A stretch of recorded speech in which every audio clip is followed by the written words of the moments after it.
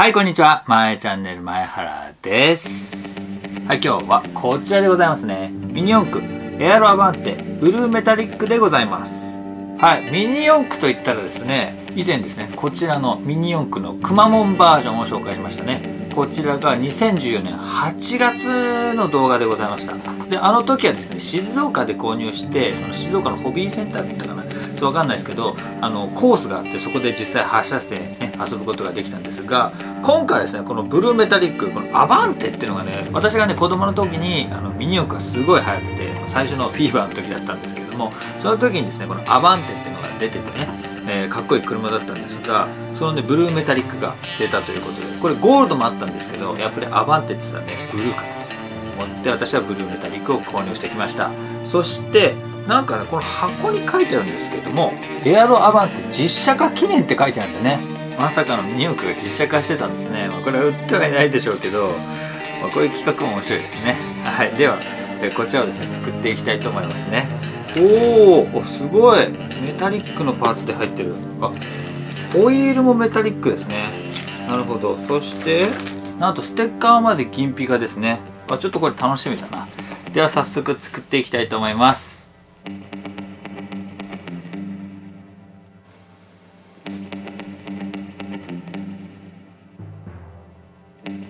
はいということで完成しました。こちらがエアロアバンテブルーメタリックですね。かっこいいね。超かっこいい。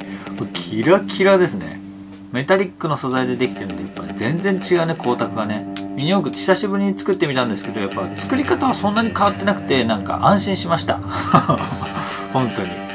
この辺りですねいろいろ穴が開いてるのであのーなんだろう多分ピンとかなんかいろいろつけるんだろうね。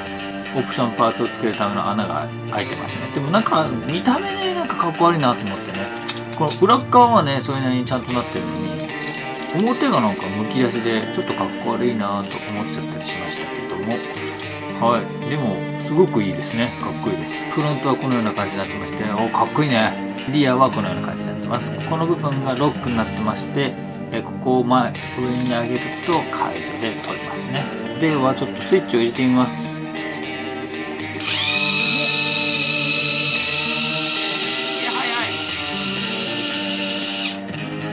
ごい。速いあーなんか前より速い気がする。ちょっと待ってここにくまモンがありますのでくまモンちょっと電源入れてみようか。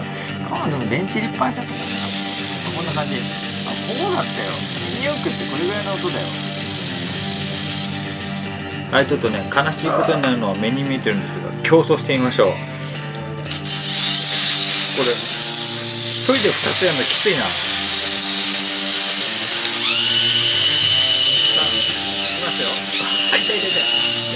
せーのはい。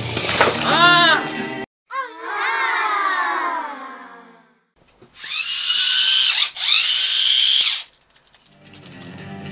あわかんないっすね。これじゃわかんない。ああひどいことになっちゃったこれやっぱ、ね、作ってて懐かしいしこうやって持ってるだけでねすごい懐かしいですね自分がね確かに小学校4年か5年生ぐらいの時だったと思うんですけども何年前か覚えてないけどね。あのでもこれを機にねまたもう一回ミニ四駆をやってもいいんじゃないかなと思いましたねはい、はい、ということで今回はミニ四駆のエアロアバンテブルーメタリックでした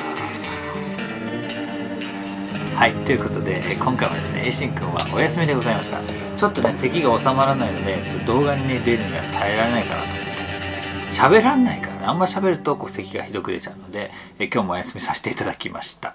はい、ということで今日の動画はですね、もしよかったなとか楽しかったなと思った方はぜひ高評価ボタンお願いしますね。そしてチャンネル登録をしていただくと YouTube のチャンネル登録の一覧にマイチャンネルが出てくるようになりますので、ぜひチャンネル登録もお願いします。そしてマイチャンネルでは Twitter、Facebook ページ、あと Instagram もやってますので、そちらのフォローもぜひよろしくお願いします。はい。ということで、いや、実際ね、これ、コースで走らせてみたい。ミニ四駆のコースって高いのかな？そんな場所がないんだけどね、うちにね。でもなんか、発射して対決してみたいよね。いろいろ改造してね。はい、ということで今回は以上でございます。バイバイ。